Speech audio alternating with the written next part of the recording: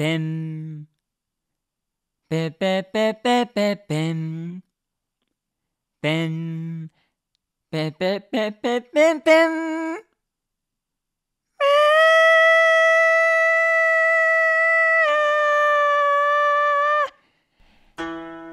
カンチャンネル。あちょ。やばいやばいやばいやばい。ちょちょっと待ってちょっと待って。ちょっとひろやくコーヒーもらっていい？えー、カンチャンネルの部屋にようこそ、えー、この部屋は車椅子水水カンチャンネルのカンタこと中島カンタが最近あった出来事や、えー、皆さんからの質問に答える、えそんな空間になっています。ぜひ仕事帰りや一日の終わり皆さんの癒しのお供になれると嬉しいです。はい。ということで今回は、まあ、新年最初の動画ということで、まあ、あの今年の抱負をですね、あのお話ししていきたいなと思います。で、まあ、僕が誕生日が11月の28日なんですけど、まあ、あの誕生日で、まあ、23歳になって、まあ、そこからまあ23歳、えー、そして2024年どんな1年にしたいかなとか、まあ、22歳どういう1年だったかなっていうのをこう振り返ったりしてたんですよね。で、まあ、その時に、まあ、やっぱりその去年はあのー、学生からこう社会人になるタイミングで、まあ、やっぱり結構大きな変化がある1年でした。なので、まあ、本当に何でしょうねそのもちろん学生から社会人になったことも大きな変化ですけど、まあ、車で、まあ、いろんなところにこう行くようになったのも、まあ、去年だったのでそういうこう全く今までとは違ったそういう生活をした1年だったなっていうふうに思いました。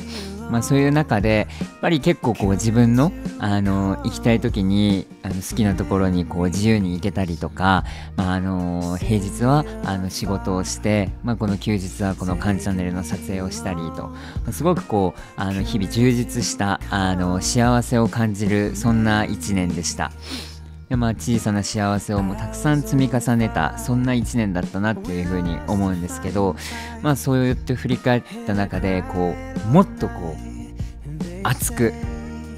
なんでしょうこうあよかったな幸せだったなっていうところで満足するのももちろん大事だと思うんですけどさらにこうそれを一歩超えてなんかこうもっと熱い気持ちでこう挑戦していくようなそんな1年にしていきたいなっていうふうに思っています。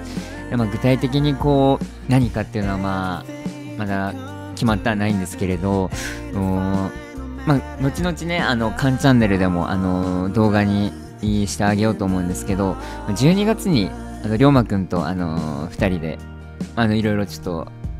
目的行きたいことをやりたいことがあってあの名古屋に行ったんですけど、まあ、あのその時にもねあの龍馬くんとこう夜な夜なホテルでも話をしたりしてたんですけどまあ、僕はあのビールを飲んで龍馬くんは龍馬くんジュースだったっけ？ジュースあ、チューハイ、あ、あ、ごめん、ちょっとチューハイ、ジュジュースだと思うね。まあね、あの、お酒を飲みながらね、いろいろこうお話ししたりもしてたんですけど、やっぱりこう、ね、あの、龍馬くんと会っえ、出会ったのが僕が大学2年生の時でそこからこうね2年ぐらいすごいこういろんなことに挑戦してなんかもう動画を始めたのもその頃だったんですけど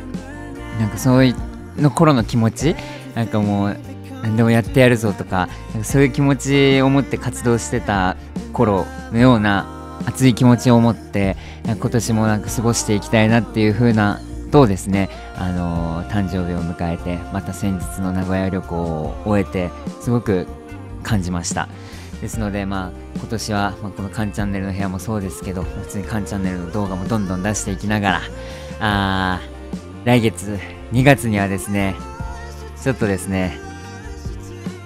大きいことをねしようかな、行きたいなと思ってるところがあるので、まあ、その報告も、まあ、おいおいしていけたらなと思うんですけど、本当に動画はもちろんのこと、その他、もろもろの活動も、と、あの、これまでにないような、あ新しい挑戦ができる一年にしたいなというふうに思ってるので、ぜひ、あの、これからも皆さん応援していただけると嬉しいです。で、カンチャンネルの部屋ではですね、皆さんの質問にも答えしたいなというふうに思ってるので、ぜひ、こういうこと聞いてみたいなとか、ああればですね、何でも聞聞いていただければと思います。何でもお答えしたいなと思うのでぜひよろしくお願いします。はい。ということで、えー、2024年、えー、車いすいすいカンチャンネルカンタの抱負をお話しさせていただきました。もうすごくねあの楽しい充実した1年にまた今年もなってでまたあ昨年以上にこう熱く日々過ごせていけたらなと思っているので、えー、皆さんもどうぞよろしくお願いします。じゃ今日はこの辺で。スイスイ。